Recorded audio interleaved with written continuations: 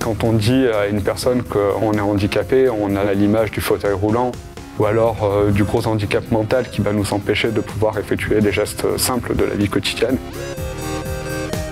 Les situations de handicap que présentent nos étudiants sont très variées, très larges, euh, le plus souvent invisibles.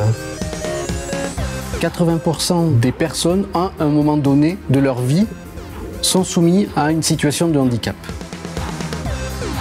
Comme je suis né avec, il m'a fallu évoluer avec ça depuis, depuis tout petit. J'aimerais travailler euh, dans le milieu de la psychologie, de la psychiatrie, pourquoi pas. Je me rappelle d'une infirmière qui m'a dit euh, c'est vraiment une honte de former les handicapés à être infirmiers. C'est difficile, il y a beaucoup de personnes qui réussissent pas, il y a beaucoup, beaucoup de personnes qui abandonnent.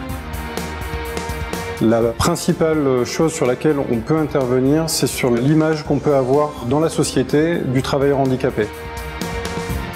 Nous sommes tous des handicapés de quelque chose. On a besoin de former des professionnels qui demain sont épanouis dans leur, euh, dans leur métier. Je suis contente de partir de là en leur ayant montré euh, ce dont j'étais capable et euh, de faire changer les choses à ma façon.